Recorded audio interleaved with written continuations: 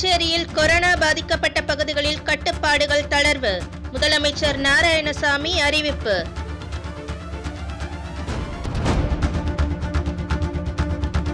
புதுச்சேரிக்கு கொரோனா நிதி அளிக்க வேண்டும். பிரதமருக்கு என்ஆர் காங்கிரஸ் தலைவர் ரங்கசாமி வேண்டுகோள். மீன்பிடி தடைக்காலம் நிவாரணமாக மீனவர் குடும்பங்களுக்கு தலா பத்தாயிரம் ரூபாய் வழங்க வேண்டும். சட்டமன்ற உறுப்பினர் அன்பழகன் வலியுறுத்தல். புதுச்சேரியில் கொரோனா பாதிக்கப்பட்ட பகுதிகளில் கட்டுப்பாடுகள் தளர்வு செய்யப்பட உள்ளதாக முதலமைச்சர் நாராயணசாமி தெரிவித்துள்ளார். சட்டப்பேரவை வளாகத்தில் செய்தியாளர்களை சந்தித்த முதலமைச்சர் நாராயணசாமி பிரதமர் மோடி அறிவித்தபடி புதுச்சேரி மாநிலத்திலும் வரும் மே மூன்றாம் தேதி வரை ஊரடங்கு உத்தரவு அமலில் இருக்கும் என்றும் மத்திய அரசு ஊரடங்கு வழிகாட்டு விதிமுறைகளை அறிவித்த பிறகு புதுச்சேரியில் தொழிற்சாலைகள் இயங்குவது குறித்து அறிவிக்கப்படும் என்றார். தொடர்ந்து பேசிய அவர் கொரோனா பாதிப்பு உறுதி செய்யப்பட்ட அரியாங்குப்பம் சொர்ணநகர் பகுதி பாதுகாக்கப்பட்ட பகுதியாக அறிவித்து பதினான்கு நாட்கள் நிறைவடைவதால் அந்த பகுதியில் விதிக்கப்பட்டுள்ள கட்டுப்பாடுகள் தளர்த்தப்பட உள்ளதாகவும் புதுச்சேரி மக்கள் ஊரடங்கு உத்தரவுக்கு முழு ஒத்துழைப்பு அளிக்க வேண்டும் என்றும் அத்தியாவசிய தேவைகளுக்கு மக்கள் வீட்டை விட்டு வெளியே வரும்போது கண்டிப்பாக முகக்கவசம் அணிந்து வர வேண்டும் என முதலமைச்சர் நாராயணசாமி வலியுறுத்தினார். புதுவை மாநிலத்துக்கு தாய் உள்ளத்துடன் கொரோனா நிதி அளிக்க வேண்டும் என பிரதமருக்கு என்ஆர் காங்கிரஸ் தலைவர் ரங்கசாமி வேண்டுகோள் விடுத்துள்ளார். புதுவை மாநில எதிர்க்கட்சித் தலைவரும் என்ஆர் காங்கிரஸ் நிறுவனருமான ரங்கசாமி வெளியிட்டுள்ள அறிக்கையில் புதுச்சேரி மாநிலத்தில் கொரோனா வைரஸை எதிர்த்து மத்திய மாநில அரசுகள் அறிவித்த ஊரடங்கை ஏற்று சுய கட்டுப்பாடுடன் பல துயரங்களை எதிர்த்து மக்கள் போராடி வருகின்றனர். புதுச்சேரி அரசு சார்பில் ஒவ்வொரு குடும்ப அட்டைக்கும் ரூபாய் இரண்டாயிரம் கொடுத்த நிலையில் ஊரடங்கு உத்தரவு மேலும் பத்தொன்பது நாட்களுக்கு நீட்டிக்கப்பட்டிருப்பதால் அனைத்து தொழில்களும் விவசாயிகளும் நலிந்து நொடிந்து மனம் தளர்ந்து போயுள்ளனர். எனவே மீண்டும் புதுச்சேரி அரசு ஒவ்வொரு குடும்ப அட்டைதாரர்களுக்கும் ரூபாய் மூன்றாயிரம் அவரவர் வங்கிக் கணக்கில் வழங்கிட வேண்டும் என்று கூறினார். மத்திய அரசு சிவப்பு அட்டைதாரர்களுக்கு வழங்கியது போல் மஞ்சள் அட்டைதாரர்களுக்கும் இலவச அரிசி பருப்பு வழங்கிட வேண்டும் என்றும் இருபத்தி இரண்டு மாதமாக வழங்கப்படாமல் இருந்த அரிசி பணத்தை இந்த தருணத்தில் வழங்கினால் மக்களுக்கு ஒரு சரியான உதவியாக அமையும் என்றும் கூறினார். மேலும் அமைப்பு சாரா தொழிலாளர்கள் ஆட்டோ ஓட்டுநர்கள் அனைவரும் வேலைவாய்ப்பு முற்றிலும் இல்லாத காரணத்தினால் தனியாக ரூபாய் இரண்டாயிரம் அவரவர் வங்கிக் கணக்கில் வழங்கிட முன்வர வேண்டும் என்றும் மீன்பிடி தடைக்காலம் தொடங்கியுள்ளதால் மீனவ சமுதாயத்தைச் சேர்ந்த மீனவர் குடும்பத்தினருக்கு முன்கூட்டியே நிவாரணத் தொகை வழங்க வேண்டும் என்றும் இப்படிப்பட்ட சூழலில் புதுச்சேரி அரசு அதிகமான நிதி பற்றாக்குறையில் தவிக்கிறது. எனவே இந்தியாவின் கடைக்கோடியில் உள்ள சின்னஞ்சிறு மாநிலமான புதுச்சேரிக்கு பிரதமர் மோடி தாயுள்ளத்தோடு நிதி உதவி வழங்கிட அகில இந்திய என்ஆர் காங்கிரஸ் பேரியக்கத்தின் சார்பாக வேண்டுகோளாக கேட்டுக்கொள்கிறேன் என்று தெரிவித்துள்ளார். புதுச்சேரியில் மீன்பிடி தடைக்காலம் துவங்கியுள்ளதால் பாதிக்கப்பட்டுள்ள மீனவர் குடும்பங்களுக்கு தலா பத்தாயிரம் ரூபாய் வழங்க வேண்டும் என அதிமுக சட்டமன்ற கட்சித் தலைவர் அன்பழகன் வலியுறுத்தியுள்ளார். புதுச்சேரி அதிமுக சட்டமன்ற கட்சித் தலைவர் அன்பழகன் எம்எல்ஏ வெளியிட்டுள்ள அறிக்கையில் புதுச்சேரியில் சுமார் பத்தொன்பதாயிரத்து இருநூத்தி ஐம்பது மீனவர் குடும்பங்கள் உள்ளன. மீன்பிடி தடைக்கால நிவாரணமாக கடந்த ஆண்டுக்கு முன் ஒவ்வொரு குடும்பத்திற்கும் ரூபாய் ஆறாயிரத்து ஐநூறு வழங்கப்படும் என புதுவை பட்ஜெட்டில் அறிவித்தனர். ஆனால் ரூபாய் ஐயாயிரத்து ஐநூறு மட்டுமே வழங்கப்பட்டது. கொரோனா மற்றும் ஊரடங்கு உத்தரவால் மீன்பிடி வாழ்வாதாரமே பெரிய அளவில் பாதிக்கப்பட்டுள்ள மீனவர் குடும்பங்களுக்கு தலா ரூபாய் பத்தாயிரம் புதுச்சேரி அரசு வழங்க வேண்டும். ஒரு வாரத்திற்குள் வங்கி கணக்கிலும் செலுத்த வேண்டும். மேலும் மீனவர்கள் ஏற்கனவே ஒரு மாதம் மீன் பிடிக்காமல் வீட்டில் இருந்ததால் மீன்பிடி தடைக்காலம் மே இருபத்தி நான்காம் தேதியுடன் நிறைவு செய்ய வேண்டும் என தெரிவித்துள்ளார்.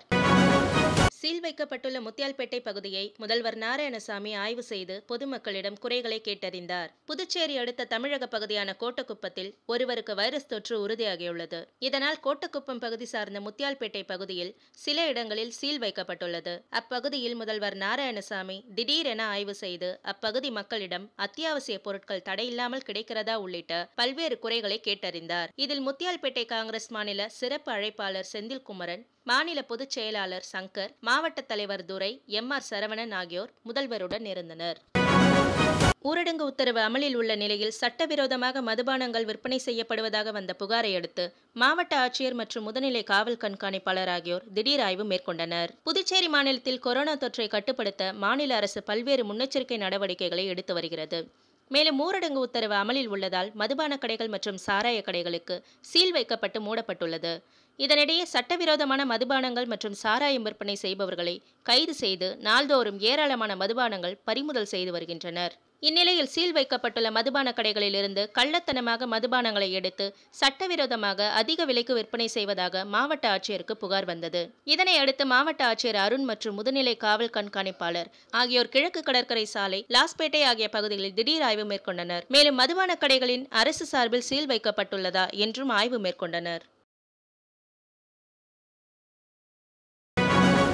புதுச்சேரியில் வங்கி மற்றும் மார்க்கெட் பகுதியில் முதல்வர் நாராயணசாமி ஆய்வு செய்து பொதுமக்களுக்கு பல்வேறு அறிவுரைகளை வழங்கினார். உலகையே அச்சுறுத்தி வரும் வைரஸ் தொற்று தற்போது இந்தியாவிலும் அதிவேகமாக பரவி வருகிறது. இந்நிலையில் புதுச்சேரியில் ஆறு பேருக்கு வைரஸ் தொற்று உறுதியாகி மருத்துவமனையில் சிகிச்சை பெற்று வருகின்றனர். மேலும் ஊரடங்கு உத்தரவால் பாதிப்படைந்த மக்களுக்கு அரசு சார்பில் நிவாரணம் வழங்கப்பட்டது. இதனை வாங்குவதற்காக வங்கி முன்பு மக்கள் கூட்டம் அலைமோதுகிறது.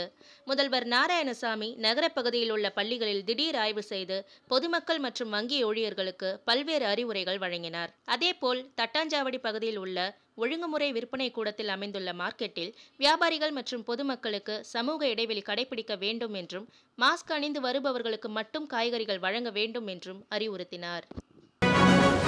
முதலியார்பேட்டை தொகுதியில் துப்புரவு பணியில் ஈடுபட்டுள்ளவர்களுக்கு ஒரு மாதத்திற்கு தேவையான மளிகை பொருட்களை தொகுதி சட்டமன்ற உறுப்பினர் பாஸ்கர் வழங்கினார். கொரோனா வைரஸ் தொற்று பரவாமல் இருக்க நாடு முழுவதும் ஊரடங்கு உத்தரவு அமலில் உள்ளது. இருந்தபோதிலும் துப்புரவு தொழிலாளர்கள் தினமும் தூய்மை பணி செய்து வருகின்றனர். இவர்களின் நலனை கருத்தில் கொண்டு முதலியார்பேட்டை தொகுதி முழுவதும் துப்புரவு பணியில் ஈடுபட்டுள்ளவர்கள் சுமார் நூற்றுக்கும் மேற்பட்டவர்களுக்கு ஒரு மாதத்திற்கு தேவையான மளிகை பொருட்களை தொகுதி சட்டமன்ற உறுப்பினர் பாஸ்கர் சமூக இடைவெளி விட்டு அனைவருக்கும் வழங்கினார். இதில் தொகுதி நிர்வாகிகள் பலர் கலந்து கொண்டனர். பெரிய மார்க்கெட் வியாபாரிகள் சங்கம் சார்பில் துப்புரவு பணியில் ஈடுபட்டுள்ளவர்களுக்கு நலத்திட்ட உதவிகளை சட்டமன்ற உறுப்பினர் சிவா வழங்கினார். வைரஸ் தொற்று நாடு முழுவதும் தற்போது அதிவேகமாக பரவி வருகிறது. இந்நிலையில் ஊரடங்கு உத்தரவு வருகிற மே மூன்றாம் தேதி வரை அமலில் உள்ளது. மேலும் களப்பணியில் ஈடுபட்டுள்ள துப்புரவு பணியாளர்கள் தினமும் தூய்மை பணி செய்து வருகின்றனர். இவர்களின் நலனை கருத்தில் கொண்டு பெரிய மார்க்கெட் வியாபாரிகள் சங்கம் சார்பில் துப்புரவு பணியாளர்களுக்கு நலத்திட்ட உதவிகள் வழங்கப்பட்டது. இதில் சட்டமன்ற உறுப்பினர் சிவா காவல் கண்காணிப்பாளர் மாறன் ஆகியோர் கலந்து கொண்டு ஊழியர்களுக்கு நலத்திட்ட உதவிகளை வழங்கினர். மேலும் இந்நிகழ்ச்சியில் பெரிய மார்க்கெட் சங்க தலைவர் சுப்பிரமணியன் தலைமை தாங்கினார். ஏஐடியுசி சேது செல்வம் முன்னிலை வகித்தார். மேலும் இதில் பெரிய மார்க்கெட் வியாபாரிகள் சங்கத்தின் நிர்வாகிகள் உட்பட பலர் கலந்து கொண்டனர். முதலியார்பேட்டை பகுதியில் ஆட்டோ தொழிலாளர்களுக்கு வெற்றி மக்கள் இயக்கம் சார்பில் அரிசி வழங்கப்பட்டது. வைரஸ் தொற்று பரவாமல் இருக்க நாடு முழுவதும் ஊரடங்கு உத்தரவு அமல்படுத்தப்பட்டுள்ளது. இந்நிலையில் முதலியார்பேட்டை தொகுதியைச் சார்ந்த ஆட்டோ ஓட்டுநர்களுக்கு வெற்றி மக்கள் இயக்கம் சார்பில் அரிசி மற்றும் மளிகை பொருட்கள் வழங்கப்பட்டது. இதனை வெற்றி மக்கள் இயக்கத்தின் நிறுவனர் வெற்றி செல்வன் கலந்து கொண்டு வழங்கினார். மேலும் இதில் வெற்றி மக்கள் இயக்க நிர்வாகிகள் கணபதி தமிழ்ச்செல்வி அசோக்குமார் தினேஷ் உட்பட பலர் கலந்து கொண்டனர். டாக்டர் அம்பேத்கர் பிறந்த நாளையொட்டி காலாப்பட்டு தொகுதியில் துப்புரவு பணியில் ஈடுபட்டவர்களுக்கு காங்கிரஸ் கட்சியின் வடக்கு மாவட்ட பொதுச் செயலாளர் வெங்கடாஜலபதி நலத்திட்ட உதவிகளை வழங்கினார். கொரோனா வைரஸ் தொற்று பரவாமல் இருக்க நாடு முழுவதும் ஊரடங்கு உத்தரவு நடைமுறையில் உள்ளது. இருப்பினும் துப்புரவு பணியில் ஈடுபட்டுள்ள தூய்மை பணியாளர்களுக்கு அம்பேத்கர் பிறந்த நாளை முன்னிட்டு காலாப்பட்டு தொகுதி முழுவதும் துப்புரவு பணியில் ஈடுபட்டுள்ளவர்களுக்கு காலாப்பட்டு தொகுதிக்கு உட்பட்ட நாவர்குளம் பொதிகை நகர் பகுதியில் காங்கிரஸ் கட்சியின் வடக்கு மாவட்ட பொதுச் செயலாளர் வெங்கடாஜலபதி தலைமையில் அரிசி மளிகைப் பொருட்கள் காய்கறிகள் முதலியவை வழங்கப்பட்டது. மேலும் இதில் சமூக ஆர்வலர் சுப்ராயன் முன்னிலை வகித்தார். மாணவர் கூட்டமைப்பு சுவாமிநாதன் சிறப்பழைப்பாளராக கலந்து கொண்டார். அனைத்து துப்புரவு பணியாளர்களுக்கும் பாதுகாத்துக் கொள்வதற்கான பயிற்சியை அங்கன்வாடி ஆசிரியர் சரளா இயேசுதாஸ் வழங்கினார். இதில் அப்பகுதியைச் சேர்ந்த காங்கிரஸ் கட்சியின் எஸ்சி எஸ்டி பிரிவு வடக்கு மாவட்ட தலைவர் விஜயகுமார் ஓபிசி மாநில செயலாளர் அசோக் குமார் எஸ்சி எஸ்டி வடக்கு மாவட்ட துணைத் தலைவர் வேல்முருகன் நாவர்குளம் கிராம கமிட்டி தலைவர் மணிகண்டன் உள்ளிட்டோர் கலந்து கொண்டனர்.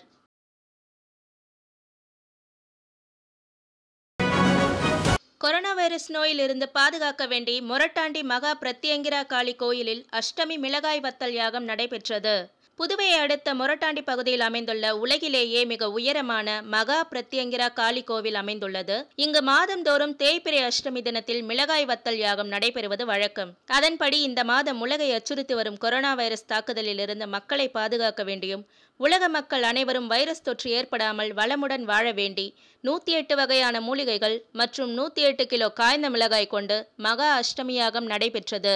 ஊரடங்கு உத்தரவு பிறப்பிக்கப்பட்டுள்ள நிலையில் பக்தர்கள் யாரும் அனுமதிக்கப்படாமல் ஆலய அர்ச்சகர்கள் மட்டும் கொண்டு நடைபெற்ற யாகம் நள்ளிரவு பனிரெண்டு மணிக்கு துவங்கி விடியற்காலை ஐந்து மணி அளவில் நிறைவு பெற்றது. அதனைத் தொடர்ந்து யாகத்தில் பூஜை செய்யப்பட்ட கலச நீர் அம்மனுக்கு அபிஷேகம் செய்யப்பட்டு மகா தீபாராதனை காட்டப்பட்டது. மீண்டும் முக்கிய செய்திகள். புதுச்சேரியில் கொரோனா பாதிக்கப்பட்ட பகுதிகளில் கட்டுப்பாடுகள் தளர்வு. முதலமைச்சர் நாராயணசாமி அறிவிப்பு.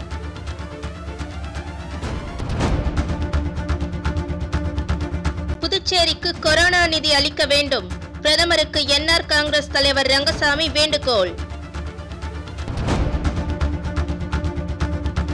மீன்பிடி தடைக்காலம் நிவாரணமாக மீனவர் குடும்பங்களுக்கு தலா பத்தாயிரம் ரூபாய் வழங்க வேண்டும்.